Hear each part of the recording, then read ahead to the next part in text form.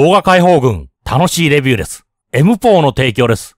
センサーライト、皆さんおなじみです。人が近づけば自動点灯して便利。そして省エネです。もう、ホームセンターで専用コーナーができるぐらいの定番品です。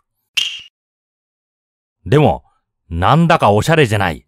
控えめな演出で、足元だけ照らしてくれるウェルカムライトが欲しい。今回の遠方ソーラーモーションセンサーライトは控えめです。人間の目って結構感度がいいです。全体を照らさなくても足元だけを優しく照らせば十分です。非常に小型、ソーラー式なので配線不要です。